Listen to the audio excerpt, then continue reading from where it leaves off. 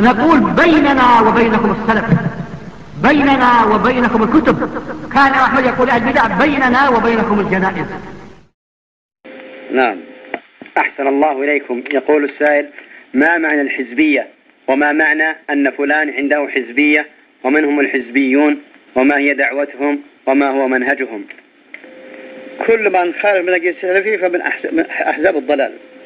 والحزبية ليس لها شروط. الله سمى الأمم الماضية أحزاب.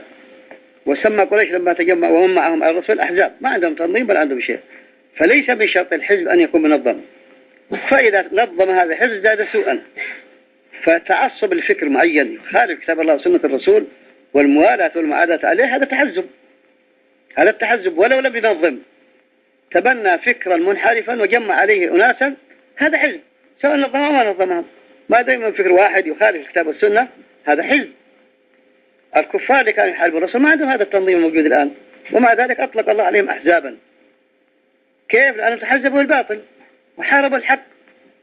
وجادلوا بالباطل يدحضوا به الحق. كذبت قوم نوح والذين بعدهم والأحزاب من بعدهم وهمت كل أمة برسولهم وجاء وجادلوا الباطل قوله والأحزاب من بعدهم. سماهم أحزاب. سماهم أحزاب. وبارك الله فيك. عمل أحزاب تجمعت قريش وغطفان وقريضة وأصناف من القبائل. ما هم منظمين هذا التنظيم؟ تجمع اسمهم الله أحزاب. وسميت السورة سورة الأحزاب. إيش الأحزاب؟ منظمين؟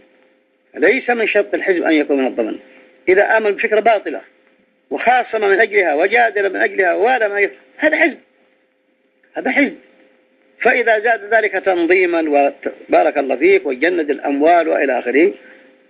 طبعا أمعن في الحزبية وصار من أحزاب الضلال والعياذ بالله.